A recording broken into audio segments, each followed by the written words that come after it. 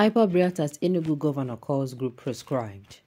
Welcome to the news and please subscribe to our channel to get notified when we post hot juicy news updates. Please click on the notification bell. Emma Powerful, head of media of IPOB, in a statement alleged that Governor Mbah addressed IPOB as a prescribed organization and accused her of being responsible for the infamous seat at home. But before I say anything, it is actually but let me even say this. Let me say this. Is it that why will it be referring to them as prescribed? Then secondly, why will also IPOB be saying they are not responsible for the seat at home? Let's find out the news in detail, please. Powerful has claimed the governor was under pressure to blackmail IPOB ahead of a December Supreme Court judgment of Mazi Nnamdi case. IPOB has strongly opposed Enugu State Governor Peter Mbah's labeling of the group as a proscribed organization. During Mbah's recent visit to President Bola Tinubu at the Aso Rock Villa in Abuja, his reported description of IPOB has, was vehemently rejected by the pro-Biafra actualization group. Emma Powerful, head of media of IPOB in a statement alleged that Governor Mbah addressed IPOB as a prescribed organization and accused us of being responsible for the famous seat at home. Powerful, who claimed the governor was under pressure to blackmail IPOB ahead of a December Supreme Court judgment of Mazi Nnamdi Kanu's case, alleged that the Tinubu administration might be pressuring Mbah to accuse IPOB of being responsible for the infamous seat at home and insecurity in the southeast. Powerful stated that if you, Mbah, continue to use the IPOB name to buy favor from Tinubu's administration, you are making a costly mistake. IPOB is not a pushover. Our silence, gentleness, quietness, and love for people should not be mistaken for cowardice. You should be careful that you don't stir the honestness for your government.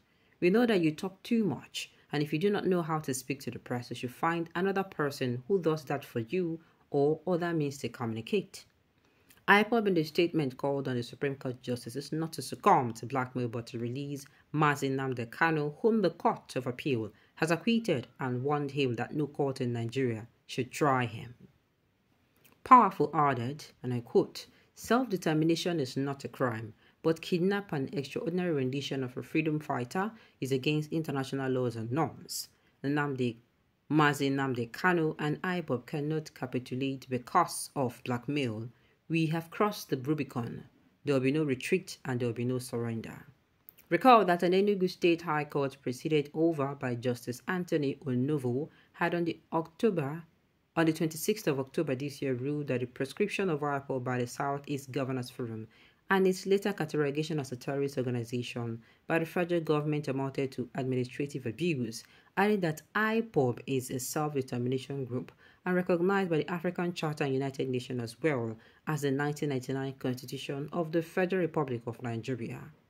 The courts awarded damages against the government. Kanu, through his special counsel, Aloy Ejimakor, had in January this year approached the court to seek nullification of the prosecution and terrorist tag on the group based on the fact that it is a registered organization with membership exercising their right of association. He has sought the delisting of the organization as a terrorist group in line with the provisions of the African Charter and the 1999 Constitution as amended, as well as restraining the government from proceeding with criminal proceedings against Kanu. The court declared that self-determination is not a crime and should not therefore be used as a basis to arrest, detain, and prosecute the IPOB leader. Now I am asking myself, hold on, just hold on. Is this man not a southeastern governor? Because I heard well that he's from Enugu State. I know Enugu State is part of the uh, southwestern region.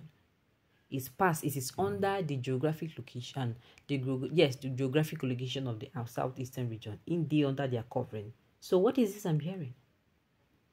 That the governor is going to badmouth them for I don't like how. And you know why I'm even I'm saying wait to this governor now the governor they just bring they just uh-huh. Yes now. Enugu state people now then do their governorship election when they do general go governorship election no? not this um, off cycle or offset. So what is now the problem? Why will he come in and start attacking IPOB now first of all IPOB na then na say mix it at home day. And that is why that time initially I was saying these South East agitators, this group, these IPOB people, they're not supposed to come outside, come talk as in that in like that bagger. They did not look at the repercussions. It was later when they now see the repercussion, when they see how the calamity started befalling their people, seeing how the so-called sit at home that was supposed to, you know, come naturally from the people, now become a thorn in the people's flesh. Now, in some places, even though IPOB has come outside, and even Mazi Nnamdi Kanu has come out through his letters to say, you know what, the uh, uh, sit at home should stop. Some people now from another, this Simon Ekpa still coming out to say, no, people who, how do I put them? People who, they make sure they deal with people who flout, you know, who do not, um, who did not sit at home on, on, you know, days they said they should be sit at home. I, I, na IPOB nine cost that one. Do you understand? Na IPOB nine they responsible for that. We cannot take it away. Whether they know before or they know, whether they know before or they don't know before, you understand? They are actually a den cause But me now, my question is, why will any state governor we just come in? No, fine. Now then be if uh, you can say okay, now after all, they even cost me this seat at home where I know say IPOB don't regret, don't regret and regret and regret. Eh? The, the leader that is on in detention now, Mazi Nnamdi Kanu, has come out not once, not twice to say this is to make it stop. When they when they give them the breakdown, when they use their tutu ICC or more, this thing is causing and wrecking the economy of the southeastern region. Do you understand? But my problem is, why would an Enugu state governor, why would he be referring to you see why these people don't regard their people?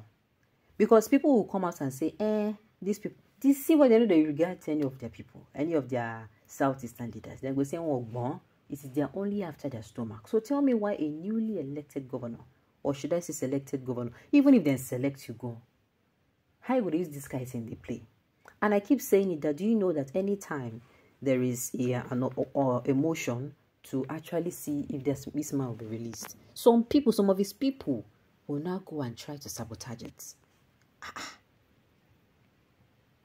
Ah. Igbo supporting sit at home, president should leave them to continue with their sit at home. But they're not, majority of them are not in support of this again. In Kengamba, focus on the welfare of Southeast. Mbah is for his pocket. I INEC Governor Shimoy. Oh, he was foisted on them even though uh-uh. This Monday Steve is another Uzodimma of of uh, of Imo State. IPOB and ESN, ESN are terrorist gang. This is not true. As the the federal government said, but don't come out. Don't don't come as I can talk. Say no. They no be.